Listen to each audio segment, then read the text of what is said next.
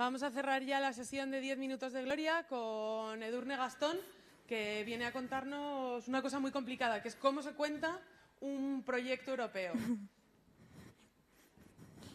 Gracias. Ay, sí, gracias. Complicada o no tan complicada. Eh, Egunon, buen día. Gracias por, por venir.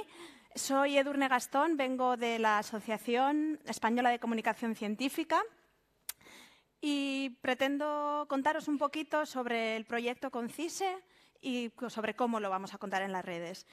Concise es el primer proyecto europeo en el que participa la asociación y como tal estamos muy contentos de, ser parte del equipo. Empezó a finales del año pasado, o sea que como, como quien dice, trabajará, trabajaremos durante este año y el año que viene sobre una pregunta general y es, ¿qué papel juega la comunicación en la percepción y las creencias de la ciudadanía sobre temas científicos? ¿Vale? Lo que queremos saber es cómo adquiere la ciudadanía los conocimientos científicos que tiene, cuáles son los canales que utiliza, cuál es la credibilidad que tienen esos canales y en base a qué forma sus opiniones. Esto es a grandes rasgos lo que pretende el proyecto la metodología que emplearemos para, llevar a cabo el proyecto, para llevar a cabo esa recogida de datos, serán las consultas ciudadanas, que serán grupos de debate, de grupos reducidos entre 8 y 10 personas, en los que un moderador eh, lanzará algunas preguntas, compartirá algunos datos y dejará que esos grupos debatan entre, entre, los miembros del grupo debatan sobre, sobre las cuestiones que planteamos. haremos cinco consultas con 100 participantes más o menos en cada, en cada consulta en cinco países europeos, o sea que con un total la muestra será de, de 500 personas. Y como la ciencia es un tema, así dicho, ciencia es algo muy amplio, lo hemos acotado a cuatro temas. Entonces, pretendemos eh, saber sobre vacunas, cambio climático, terapias alternativas, y transgénicos. ¿vale? Como decía, no estamos tan interesados en la opinión de la ciudadanía, sino en sus fuentes, en los canales que utilizan para formar sus opiniones y cuál es la credibilidad que pueden tener esos canales. Eh, los que habéis participado en algún proyecto europeo eh, lo sabéis y los que no os lo digo ahora, eh, son proyectos que se basan en la colaboración, en la que tenemos varios socios implicados y cada socio aporta su experiencia, aporta su, área de conocimiento como una pieza en un puzzle para entre todos formarlo.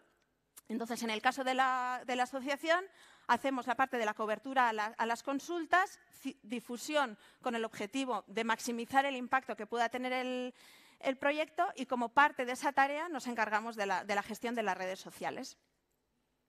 Entonces, hablando ya un poco más de la estrategia de las redes sociales, había aspectos de la estrategia que ya estaban muy establecidos por el contrato que tenemos con, la Comisión y sobre las que nosotros no hemos podido decidir mucho, que son la identidad visual, el nombre que tenemos eh, y, digamos, la imagen eh, es la que era, no, hemos podido hacer nada al respecto. Eh, los públicos objetivos, son las partes interesadas eh, del proyecto, digamos, las más estratégicas. Entonces, tenemos por una parte la comunidad científica, porque al final lo que queremos es incrementar la calidad y la cantidad de la, comunicación que se hace. Entonces, tenemos en cuenta esa comunidad científica, responsables políticos para que, formulen políticas que, fomenten una mejor comunicación científica y luego la ciudadanía como, parte implicada en las consultas y como beneficiarios también de parte de los resultados que vayamos a tener. Y los canales. Teníamos también ya establecido que bueno, tendríamos que estar en Facebook, en Twitter y también tendremos eh, un canal de YouTube que será para la parte de los vídeos. Cuando hagamos las consultas, eh, eh, esas consultas, parte de esas consultas estarán disponibles en vídeo. Entonces, bueno, estarán en, en, YouTube, haremos vídeos promocionales, pero digamos que esta es una parte más pequeña. Y luego está la parte que nosotros pues, pudimos pensar un poquito más y decidir cómo queríamos hacerlo. Entonces, tenemos unas premisas. La más importante de todas es la neutralidad.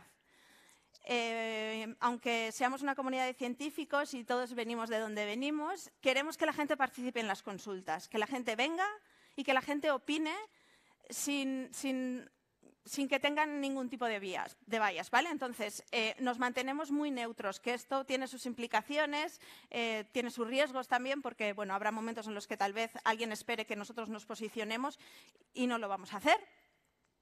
Eh, tenemos una actitud más de escucha que de emisión. Queremos ver también un poco cuál es el sentimiento que hay en, las redes en torno a estos temas, aunque no sea un objetivo del, proyecto estrictamente compararlo con lo que veamos luego en las consultas, nos interesa eh, eh, saber qué, se está diciendo. Entonces, mantenemos una actitud de, escucha activa.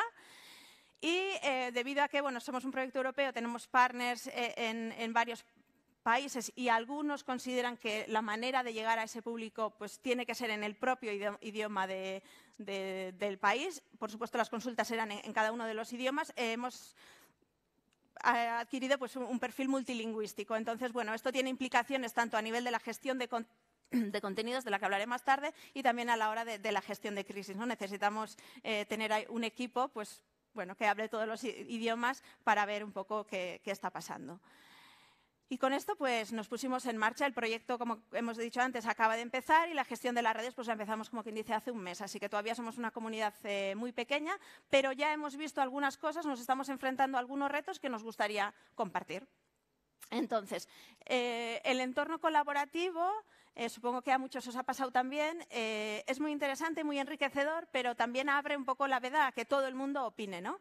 Y casualmente, pues la comunicación eh, parece que es algo de lo que todo el mundo sabe y todo el mundo puede opinar y a veces con la mejor de las intenciones, pero mm, tenemos muchas expectativas y muchas opiniones dentro de este grupo de, socios que tenemos que gestionar aparte de hacer nuestro trabajo. ¿no? Entonces, eh, bueno, nos, proponen contenido que no siempre está en la línea de lo que nosotros eh, hemos establecido como, línea para el proyecto y bueno, ahí estamos gestionando esta parte que, que da trabajo también. Eh, la operativa multilingüe pues, ralentiza todo. queremos seguir manteniendo el control sobre lo que, lo que se dice. Entonces, eh, bueno, estamos ahí en una red continua de idas y, venidas de contenido con, las partes que nos pueden proveer el contenido en otros idiomas para, para hacerlo llegar. Y la neutralidad aunque nosotros, digamos, eh, desde la cuenta del proyecto, pues eh, nos mantenemos muy neutrales, pues es inevitable que la gente nos mencione eh, con contenido que de alguna manera nos posiciona. Entonces, tenemos este problema tanto internamente en el consorcio, porque hay gente que, es muy fiel a sus ideas y a sus principios y entonces empuja para que, para que estemos ahí, y también desde fuera del, consorcio, gente que ya ha empezado a conocer el proyecto y que, bueno, a veces pues nos, nos ponen en situaciones un poquito más comprometidas. Eh, y con esto, pues poco más. Os voy a contar de momento, porque es, como digo, es un proyecto que acaba de empezar. Daremos mucha guerra eh, en los próximos dos años, o eso esperamos. Así que nos podéis seguir en Twitter y en Facebook, somos ConciseEU. Eh, tenemos una página web también, que la tenéis ahí, bueno, ahí sale bien, ahí la veo que está cortada, para que nos podáis visitar. Todavía somos una comunidad muy pequeña, así que encantados de, que, de que nos podáis seguir. Y así muy brevemente os diremos que la semana que viene tenemos la primera consulta piloto, eh, a través de la cual queremos un poco poner a punto el método que utilizaremos en las consultas que se realizarán en otoño.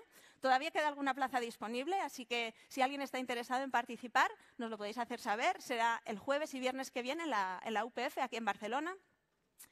Y la consulta, digamos, oficial en la que haremos la recogida de datos para el proyecto será en octubre en Valencia. Todavía no tenemos la fecha, pero si nos seguís, pues en breve podremos anunciar la fecha y eh, estaremos buscando a 100 personas que vengan de toda España. Así que el que quiera animarse o el que quiera decírselo a la gente para que se animen, pues será, será bienvenida. Esto es todo el agradecimiento a la comisión, que es quien nos provee de fondos. Y ya está. Gracias, es que ricasco. Y que si tenéis cualquier comentario, pues quedo a vuestra disposición. Gracias.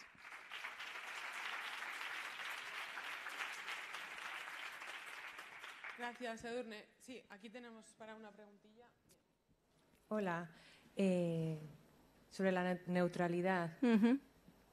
¿Es lo mismo neutralidad que equidistancia en vuestro caso? Sí. Yo diría. Eh, ¿Es eso lo que supone un problema? O un, que sea difícil de gestionar? Eh, lo que supone un problema es que ante cosas sobre las que la evidencia científica es tan clara y sobre lo, que nosotros como consorcio tenemos una opinión, no, posicionarse o no mantenerse al margen y, callarse un poco. ¿no? E, e, eso es lo que, no sé, yo había elegido la palabra neutralidad. Es un poco el que oficialmente nosotros son igualmente bienvenidos los antivacunas que los que creen firmemente en las vacunas, en, nuestras consultas, porque queremos oír lo que dice la gente. Entonces, no queremos posicionarnos y emitir contenido. Esto nos pasó mucho al principio del proyecto, ¿no? El contenido que nos, que nos posicionaba la gente, bueno, porque está ahí, está a la orden del día, está en todos los lados. No paraba de, no era como todo mensaje con una evidencia científica, en la cual nosotros como consorcio, por supuesto, creemos. Pero, pero, queremos atraer, queremos oír todas las voces. Entonces, no queremos que nuestra posición detraiga a posibles participantes o incluso gente que igual se animaría a venir, pero también igual con gente que, cuya posición está muy pro evidencia científica, digamos, no condicionar ni la participación ni lo que puedan aportar en datos al, consorcio. Esto es un poco el dilema, lo tenemos ahí. ahí. ¿no? Everybody welcome. Es un poco este.